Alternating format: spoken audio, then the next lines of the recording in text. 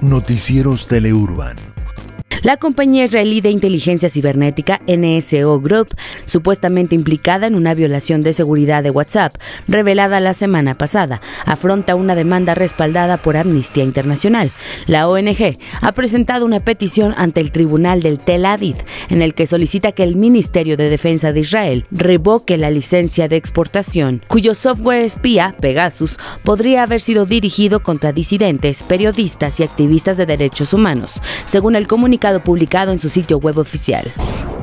El Osmar, presunto líder de extorsionadores del grupo delictivo La Unión Tepito, fue trasladado en un discreto operativo implementado por el grupo Geri y policías de investigación al reclusorio preventivo varonil Oriente para iniciar su debido proceso.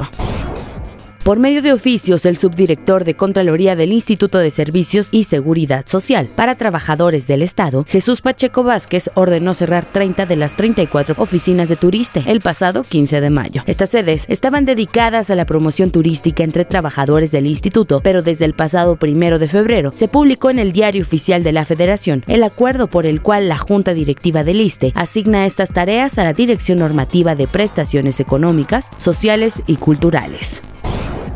La Fiscalía sueca presentó este lunes una orden de detención por supuesta violación contra el fundador del portal Wikileaks, Julian Assange, como ya había anunciado la semana pasada que haría al reabrir el caso dos años después de cerrarlo. El periodista australiano fue arrestado hace un mes por la fuerza por agentes británicos en la Embajada de Ecuador en Londres, donde se había refugiado en 2012 para evitar la extradición a Suecia. Noticieros Teleurban.